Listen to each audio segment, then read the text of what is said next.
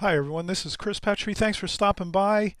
Uh, just a, a nice uh, welcome to everyone, uh, new subscribers. Uh, thanks for stopping by and checking out my uh, site here.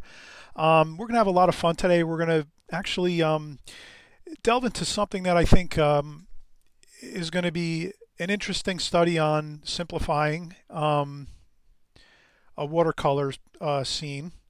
So I guess my my main idea here is sometimes we'll have a photograph or there'll be a scene we're looking at maybe for somewhere and we want to sketch or paint or um, or maybe we're trying to um, take someone else's um, artwork and try to reproduce it uh, in our own way to you know try to create a painting of our own.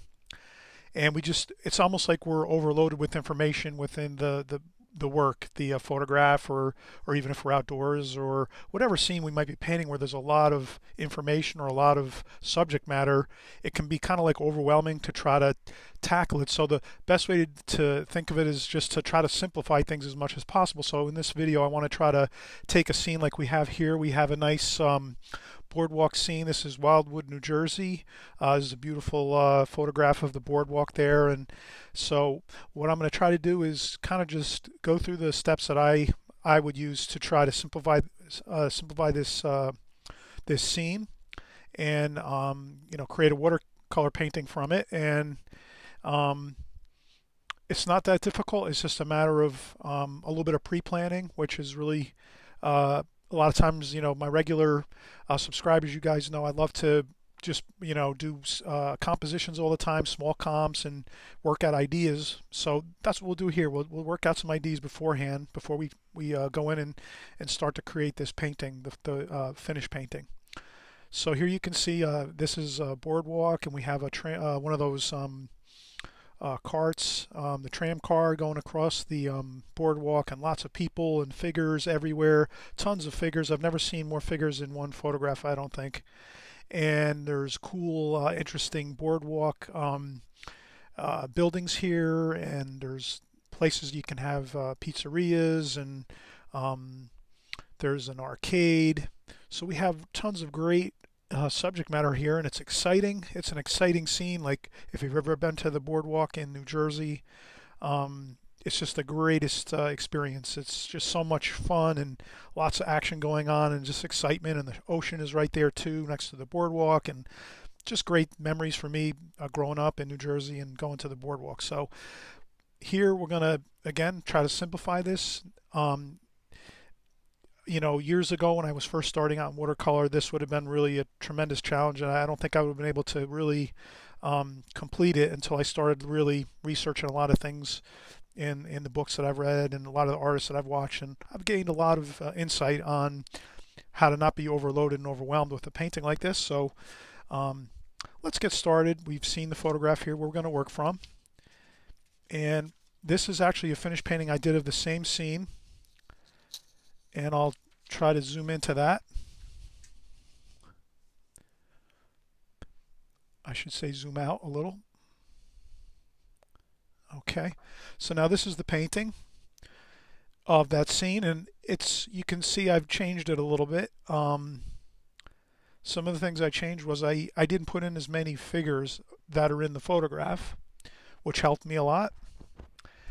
And my normal way of painting, I don't think I'm as as impressionistic as I did on this painting, but because this is such a incredibly detailed painting, I went with more of an impressionistic style where I wasn't trying to capture every detail, but just putting impressions of, of figures here and there, especially here with the figures in the middle distance.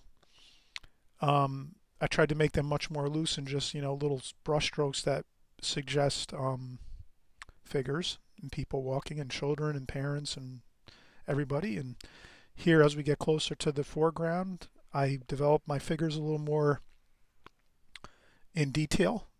And um, I think I could have spent a little more time on making the figures a little more um, dynamic, maybe changing the poses a little bit to make them look a little more interesting. And they're not perfect, of course. You can see there are certain things on here that are not, you know, exactly perfect, but um, nonetheless, you get the feeling of lots of figures and people walking around on the boardwalk here.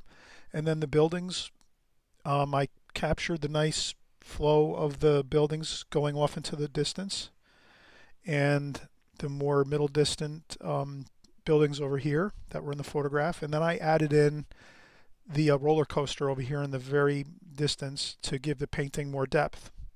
Um, because in the photograph, if we look again just quickly here at the photograph, um, we can see that um, there wasn't a roller coaster, you know, over here structure, but but putting putting that in made it filled this area in a little bit because it seems like there's so much information and um, things happening over here on the left side of the painting. I wanted to bring a little more balance, I should say, even over here to this side of the painting. So a little more balance, a little more weight, even a little bit, because this is, you know, the the painting is feeling a little out of balance in a sense. I guess the photograph, original photograph, was it's pretty balanced, but I figured uh, this over here would look a little better with the um, roller coaster in the right hand side, and lots of colors and action and, and light. The light's coming from the left, or from the right actually, across this way, and the shadowing you can kind of see that's how it's set up. My shadows are all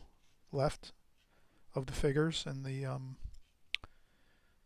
the subject matter, and so the bright sunlight's uh, striking across the fronts of these uh, boardwalk stands and so it's a good, it's an overall good impressionistic feel of the scene. So let's do it. Let's let's start on the journey here of doing a nice impressionistic painting of the boardwalk at the shore, and we'll start off with some comps. Um, for my regular, you know, for the regular um, subscribers, you'll notice I I changed a little bit of my, my brushes. On this painting, I'm going to use more uh, square brushes. So I have varieties of brushes, and so I just, I have, you know, like, I don't think I use that one. I think I mainly use these. I think I use these four. So I have like a medium, small, medium, and large um, square brush and then um, one needlepoint brush. And then everything else is the same. My palette's the same. Colors, I'm just using my normal palette. So here we'll do the first uh, swatch here. So the first swatch I'm going to um, use cobalt blue for just the sky color um, touch of burnt sienna, I mean burnt umber, to gray that down a little bit. Then to the left of my blue, I'm going to do a little bit of uh, raw sienna, raw umber, I should say, and some raw sienna.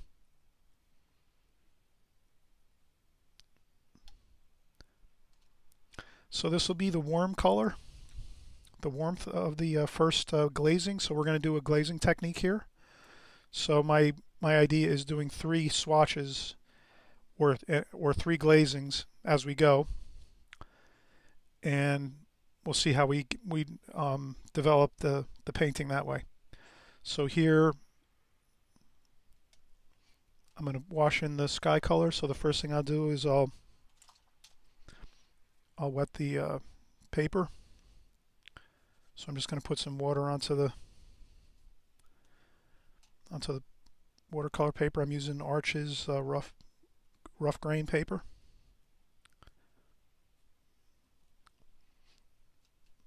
For finished paintings too, it really helps to use really good paper. Um, watercolor paper is really it's like it's like watercolor brushes. The the better the brush you use, the the better um, feel you'll have for your your painting going on on the paper as well as the same thing with the the paper the, the better the paper the definitely the better results I I still use uh, inexpensive paper to practice on and sometimes to work out ideas on but if I do a finished painting I try to use the, the best paper I can afford so here now we're going to do the sky color so we're going to go in with some of that cobalt blue And these are just compositions here. This is not the finished painting, of course. And a couple spots of blue for the sky. This is the first glazing. We're going to do the subsequent darker um, glazings as we go. We'll start off with the lightest lights and then we're going to put in the warmth which is the uh, raw umber and uh, raw sienna. And that's on the boardwalk itself. It's warm. It's like the wood of the of the boardwalk and then there's the warmth of the sunlight striking the buildings on the left. And that that should be good. So the first glazing is nice and light.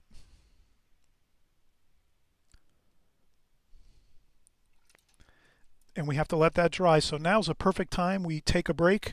Um, so what I'll do is I'll um, we'll come back for part two and we'll once this dries and we'll go over this a second or on our second glazing and we'll we'll develop the ideas um, in a in a small compositional format here so that when we go on to the larger full painting um, we'll already have worked out the ideas in a compositional practice in a sense um, before we go into the uh, finished painting.